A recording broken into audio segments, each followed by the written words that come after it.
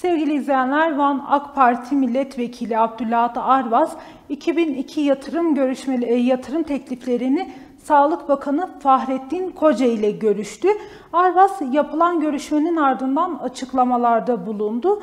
Van'da sağlık yatırımlarının arttığını söyledi.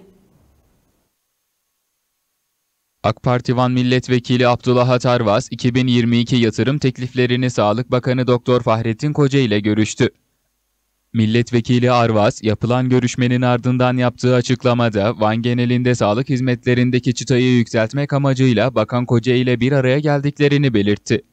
Arvaz, proje aşamasında bulunan 150 yataklı Tuşba Devlet Hastanesi, 50 yataklı Gevaş Devlet Hastanesi ve 75 yataklı Başkale Devlet Hastanesi'nin 2022 yılında ihale edilmesini talep ettiklerini de ifade etti.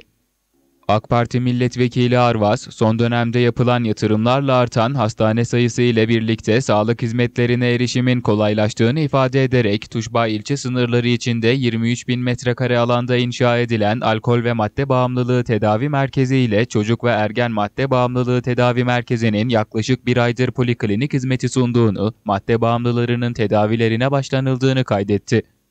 Aynı şekilde inşası ve donanımı tamamlanan Çaldıran Devlet Hastanesi'nde de vatandaşlara hizmet verilmeye başlandığını ifade eden Milletvekili Arvaz, inşaatları devam eden Erciş 30 ünitelik Ağız Diş Sağlığı Merkezi, 25 yataklı Bahçesaray Devlet Hastanesi, Tuşpa Sağlıklı Hayat Merkezi, İpek Yolu Sağlıklı Hayat Merkezi ile İpek Yolu Bostaniçi Sağlıklı Hayat Merkezi'nin tamamlanması ile birlikte Van'ın sağlık altyapısının daha da güçleneceğini bildirdi.